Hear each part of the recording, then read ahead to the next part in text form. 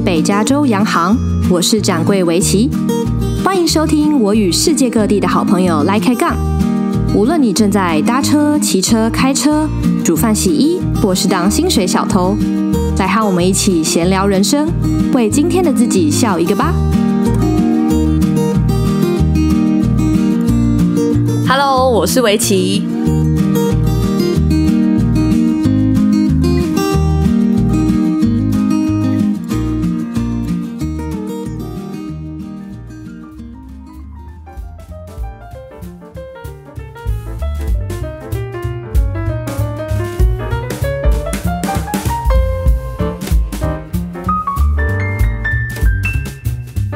回到我们久违的时事为知识单元——三人成虎，虎是虎烂的虎，让大家听完虎虎生风，虎年行大运，考试都考一百分。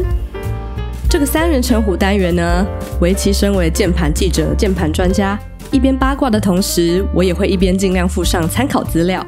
不过当然，欢迎大家来抓漏喽。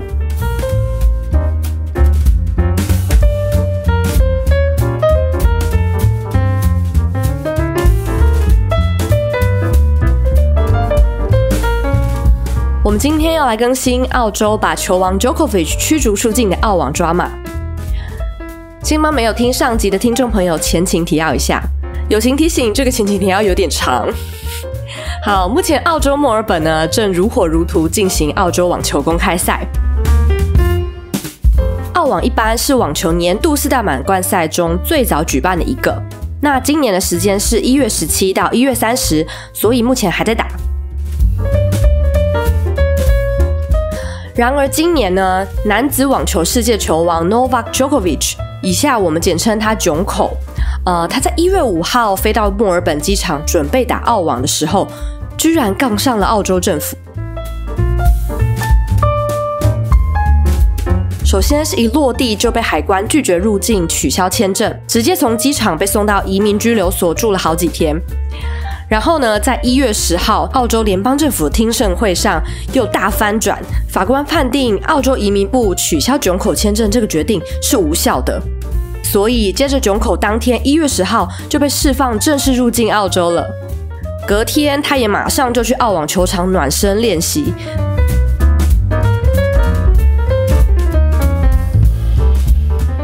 好，上一集我们录音的时候，这个事件大概进展到这里。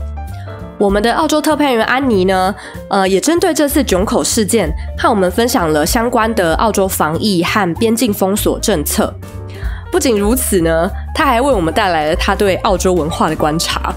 例如，澳洲人其实和我们想象中的欧美文化不太一样，他们追求和谐，团体意识强，但很多时候规则又模棱两可，有很多例外，然后又很爱护踢皮球。总之，他的观点非常精彩有趣，推荐大家赶快先打开第二季第三十集收听安妮的观点。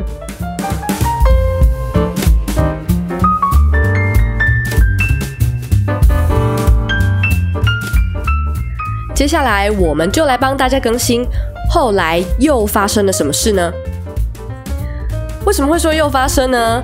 因为当一月十号法官宣布囧口可以入境之后。大家以为事情应该到这里就结束了吧？终于，大家可以好好关心即将举办的网球比赛。没想到，囧口最后居然还是被澳洲驱逐出境，真的不能打澳网了。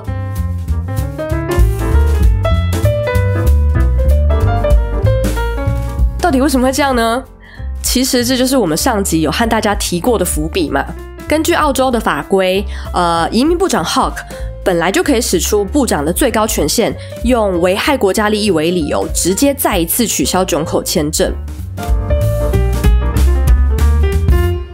然后囧口入境澳洲之后，也被陆续踢爆，他十二月明明确诊了，隔天还去参加公关活动，而且照片上看起来也没有戴口罩哦。另外，大家还发现囧口疑似在澳洲入境要填的表格上面说谎。那上一集的最后呢，我跟安妮也大胆的预测一下剧本，不过看来是完全没猜中。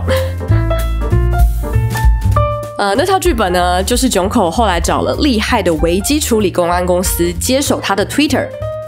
内容呢不外乎就是谢天谢地，谢澳洲人不计前嫌的给我机会，接下来我一定会乖乖的遵守澳网跟澳洲的防疫政策。啊，我真是太感谢移民部长了，感谢总理，太感谢维多利亚省长对我和网球运动的支持。总之，整个内容就是要把澳洲人捧上天，那事情很快就会过去啦。However，囧口就是没有来找我和安妮帮他量身打造媒体 strategy，所以他后来就自爆了。打赢官司的囧口呢，他在一月十二号秉持着死了都要 tweet 的精神，再次发文。好，不过他不是只是从 Twitter，他这次是像静蕾一样，像雷神一样，从 IG 发了贴文，就是文字的，呃，充满了文字的图片，然后再转发到 Twitter 上面。那这边死亡之文到底 PO 了什么呢？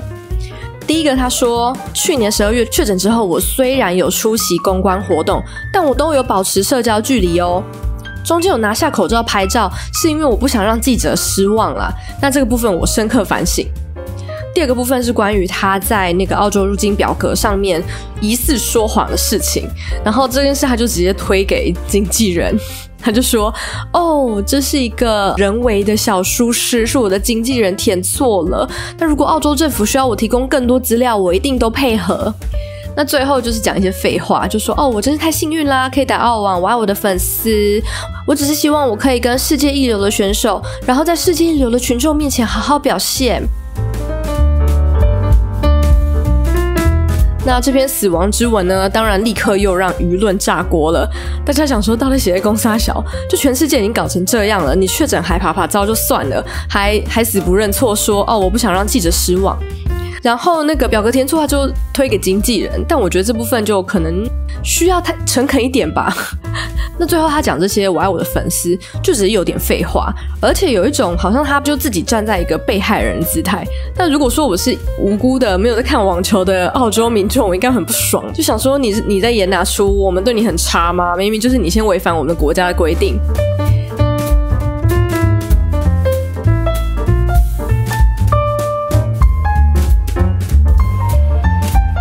结果两天之后呢？时间来到一月十四号，澳洲的内政部长兼移民部长 Huck 宣布二次取消 Djokovic 的签证，持的理由呢是说，哦，这是我们考量全体人民健康的公众利益下做的决定。然后澳洲总理 Morrison 也立刻表示。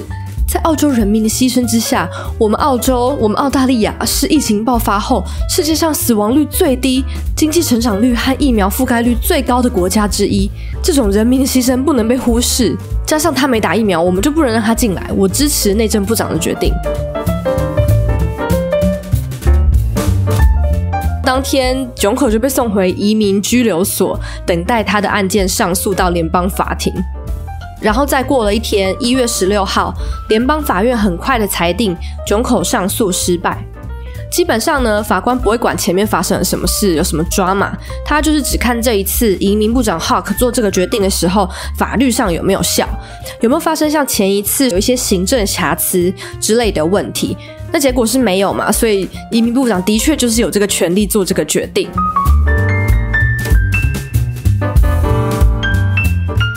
事件到此呢，囧口的签证正式被取消，那澳洲政府就可以把他驱逐出境，然后囧口还要付所有法庭的费用。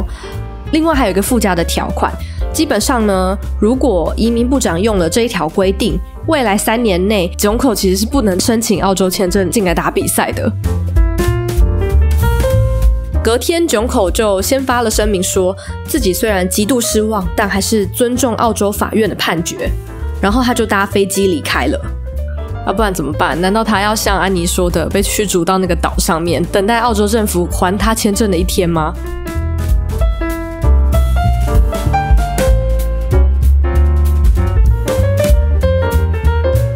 好，那这场囧口对决澳洲政府的 drama 差不多告一段落了。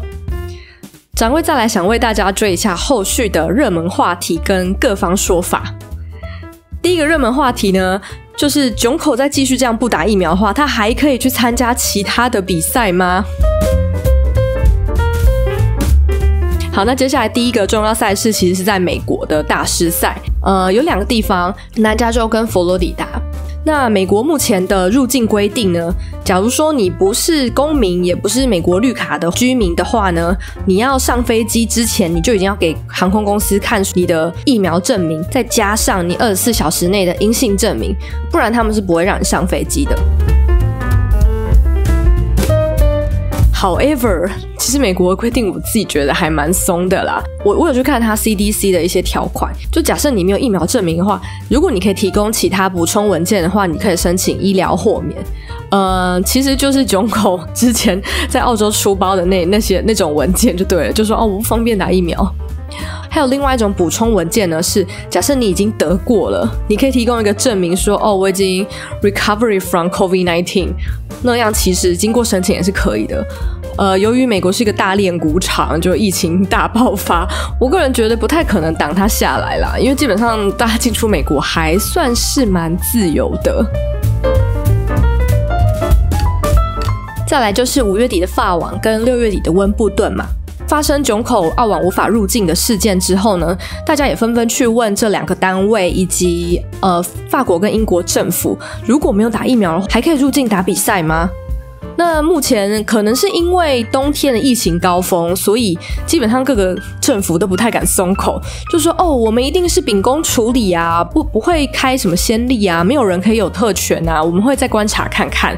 不过我个人认为，大家只是说说啦，不太可能从此不让囧口去打比赛。好，那下一个话题呢，也是跟网球有关系。前一次我们聊到囧口为什么那么兴奋发 Twitter，一个原因我们猜测是因为他真的很想打澳网，因为本来澳网是他最有可能拿下他第二十一座生涯大满贯冠军的机会。那这有什么意义呢？呃，目前就是因为他跟另外两两个巨头纳德尔、纳豆跟 Federer，呃，他们三个人目前手上都有二十座大满贯冠军。只要谁先拿下了一座，基本上就是破了历史记录。然后你也知道，如果要破纪录，你就必须要再多拿一个，也就是你要再破纪录的话，你就拿到第二十二个才会破纪录，好吧？所以大家可以想象，为什么今年的澳网对他来说是一个生涯的重要比赛。那既然囧口已经失去了这次抢先在澳网拿下二十一座大满贯的机会，那接下来到底谁会破纪录呢？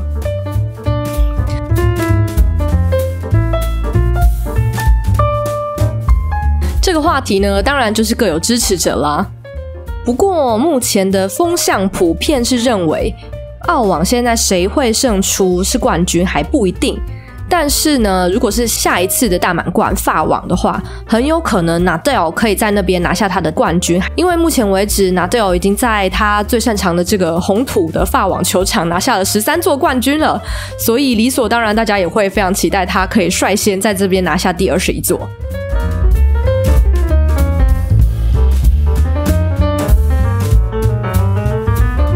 再来，我们来更新一下互踢皮球的各方在事件结束之后又说了什么。前一次我们提到说，这个事件其实有点罗生门，就不知道是澳网协会，或是当初发给囧口医疗豁免的那个维多利亚省的政府，还是联邦之间他们的沟通有什么问题，才会导致这样的事情产生。就囧口明明已经人到那边又被取消，然后又上诉，然后又被取消。呃，那针对的事件，我们已经知道澳洲政府的看法了嘛？反正就是 Morrison 就是先说，我非常支持我们部长的决定啊，Rule is rule，没有人可以有特权。那事后那个维多利亚的省长，他本来前一次受访的时候是说，哦，我不知道哎，这个跟我没什么关系啊，你们要问要不要把他驱逐出境，都是部长可以决定啊，我个人是没有什么偏好啦。但是呢，你也知道，墙倒众人推，在囧口被赶出去之后呢，他再次受访时就落井下石，就说：“哦，囧口以为他自己一个人比澳网重要，其实没有，所以他就被我们赶出去了。”那澳网协会本身当然是被大家骂到臭头，这方面我们就不多说了。除此之外呢，还有囧口的母国塞尔维亚。前一集我们有提到，就差一点升级外交事件嘛，还有他们的两边的总理呢，也有一些对谈。这样，但是最后呢，囧口还是被驱逐出境了。第一个就是他一回国就受到英雄式的欢迎，然后因为塞尔维亚的总统也是一个非常有争议性的人物，他叫 Vushuk，反正就应该也是蛮会作秀的。他立刻就跳出来说，这是一个 witch hunt，澳洲政府是猎巫吧，把我们家囧口拿来当做政治迫害的对象啊，为了展现他们的权利啊，为了选举才这样子的。那再来也关心一下澳洲人民对这次事件的看法。我看了一些报道，大部分的人呢，基本上都是保持着一个“哇哦，澳洲政府连这种小事都办不好了，真是不令人意外”。第一个点呢是澳洲的边境移民政策。虽然总理 Morrison 说 “rule is a rule”，但这次的事件等于是曝光了，告诉大家 “there is no rule”。比方说，为什么囧口明明已经拿到签证了，却可以在入境的时候临时被取消签证？再来是上了法庭之后呢，法官又说：“哦，你们取消签证这个做法是有问题的，所以我又反取消你的取消签证。”再来就是他明明已经入境了，大家以为事件差不多到这里落幕了吧？但是在舆论之下，澳洲政府居然还是有权利可以任意的将他赶出澳洲。基本上呢，移民部长可以任意决定入境者的去留这件事情，之前就已经很常被讽刺为是上帝之力 （God powers）。呃，所以这次的事件其实也是凸显了澳洲在边境啊、移民啊、难民政策上面有很大的问题。尤其是这次囧口有被移去移民拘留所住了很多天嘛，这也让很多之前的丑事曝光。像是囧口住的那个旅馆，才不久之前呢，就有住在里面的难民分享了他的食物里面居然有蛆。还有难民呢是分享说，他其实从小婴儿的时候就被关到这个拘留所里面，但是到现在因为他案子也没有解决，他已经已经是长大成人了，居然还被关在里面。总之就因为这次囧口的案子呢，就把烂泥摊在阳光下这样子。那第二个点呢，就是觉得澳洲政府怎么连这种小事都可以搞砸？之前明明就有超多名人特权事件都没有事情，但这次这么重要的国际赛事，全世界都在看，搞成这样就根本就是双输的局面嘛。然后澳洲当地的一个讽刺著名的媒体叫 Double Bay Today，还做了一个很有趣的投票，呃，应该说也是非常认真啦，因为他们访问了五千六百个澳洲人。那那个问题是这样，呃，是二选一。总理 Morrison 跟 Djokovic 囧口，你们比较想把谁驱逐出境？要不要猜猜结果是怎么样？好，其实结果非常的接近，但是呢，Morrison 还是胜出了。有百分之五十二的澳洲人表示，他们比较想要把 Morrison 驱逐出境。那囧口只有四十八。好，所以呢，从这个有趣的小报道呢，也可以看出澳洲人在这次事件呢，对于澳洲政府有多么的不满。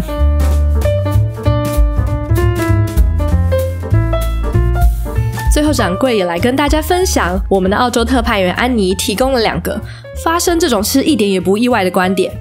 第一个呢，是我还是有点意外，澳洲最后真的把囧口赶出去了。我以为就吵吵闹闹，最后就结束这样。但关于这点呢，安妮表示，因为澳洲有澳洲的玩法。他提供了一个冷知识新闻，呃，不知道大家有没有注意到，去年呢，Google 跟 Facebook 在澳洲被控垄断，呃，总之就是澳洲通过了一个新法令，就说，哦，你 Google 垄断了搜寻引擎啊，你 Facebook 垄断了媒体，那导致我们原本的媒体业都嗯生存不下去啊，那我现在要求你们退出。事情发生之后呢，Google 跟 Facebook 就很傻眼嘛，想说，好吧，那我们退出就退出吧，那你们就不要用啊。结果没想到他们就真的退出了几天，尤其是 Facebook，就有一段时间，有澳洲人就连不上 Facebook。但后来 Facebook 就发现，哦，澳洲人好像真的无所谓。那去年一整年，Google 跟 Facebook 就陆续在跟澳洲调协议嘛。去年九月的时候呢，Facebook 就有发布一个新闻说，哦，因为我们 Facebook 现在有一个 Facebook News 的 channel，呃，如果你用户呢，你不小心点到那边，你就会看到其他的新闻嘛。那新闻来源可能是其他的媒体或是电视公司。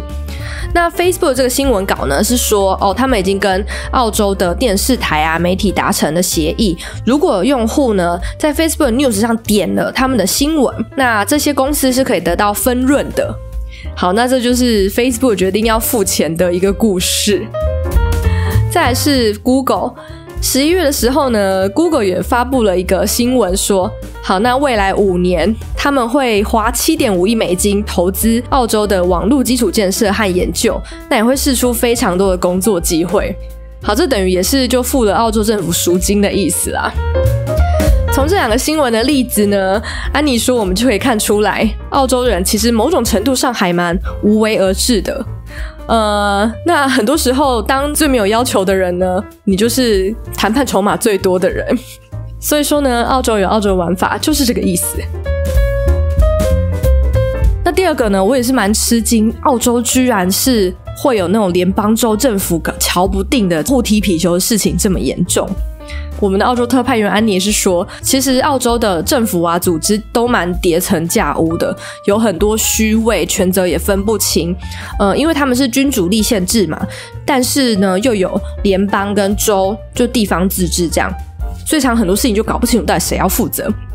他举个例子啊，就说其实你想不到吧，澳洲到现在还有联邦总督跟各个省都有各个省的总督。好，那总督是干嘛用的呢？呃，因为澳洲是君主立宪制嘛，澳大利亚其实是大英国协的其中一个王国，所以澳洲其实还是奉英国女王伊丽莎白为君主的。但是因为女王平时在英国啊，她要怎么在澳洲当君主呢？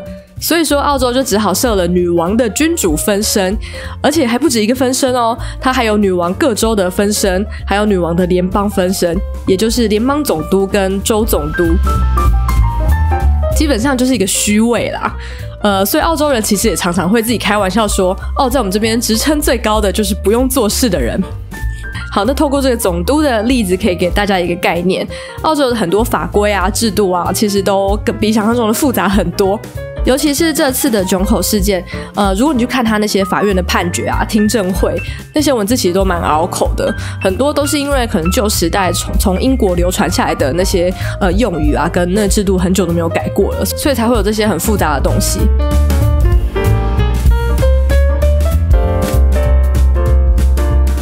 好的，那我们今天就更新到这边，希望大家还喜欢这次的三人成虎时事为知识单元。另外，我也帮大家精选了囧口事件各国乡民做的名音，follow 一下北加州洋行的 FBIG 就可以看到喽。如果你们还有对什么有趣的国际新闻有兴趣的话，也欢迎提供给我知道喽。掌柜来帮大家追踪报道一下。那就这样喽，大家拜拜。